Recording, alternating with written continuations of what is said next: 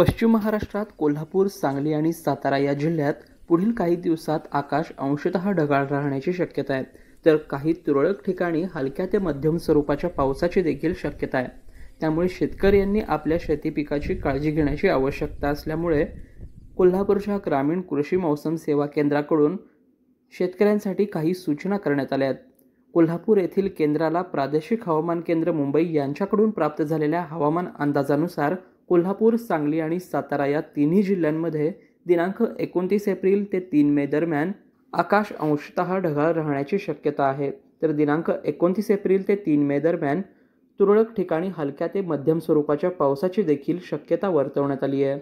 दरम्यान सातारा जिल्ह्यामध्ये दिनांक तीस एप्रिल रोजी तुरळक ठिकाणी मेघगर्जना आणि विजांच्या कडकडाटासह ताशी वीस ते चाळीस इतक्या वाऱ्यासह हलक्या ते मध्यम स्वरूपाच्या पावसाची देखील शक्यता वर्तवण्यात आली आहे. त्यामुळे शेतकऱ्यांनी स्वतःची आणि आपल्या पशुधनाची काळजी घ्यावी असे आवाहन देखील करण्यात आले आहे.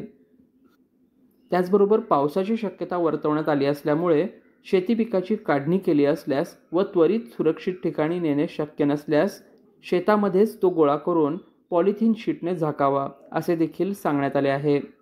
Saiprasad Mahendrakar news eighteen Lokmat Kolhapur.